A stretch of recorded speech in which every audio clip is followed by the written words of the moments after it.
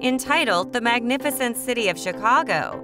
The following new episode 22 will be the season 10 finale, and the next chapter will see a major wedding happening. Emma's arrangements are reaching a conclusion and more. It just so happens that a big wedding day will finally show up. During it, the Firehouse 51 group will wind up giving Casey a warm welcome back to jump into the festival celebrations. Emma has a few plans in progress that are intended to ensure Violet gets supplanted, yet they will conclude in an extremely surprising manner sooner or later.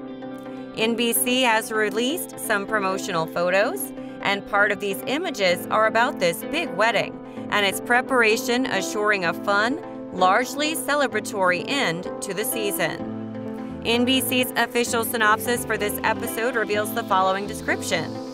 The big wedding day arrives and Firehouse 51 welcomes Casey back to celebrate the joyous occasion. Emma's plans to replace Violet come to a shocking end.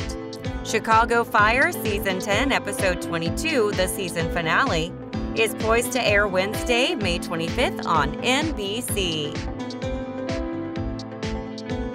Thanks for watching, and if you enjoyed the video, please make sure to press like, subscribe, and share the video with your friends.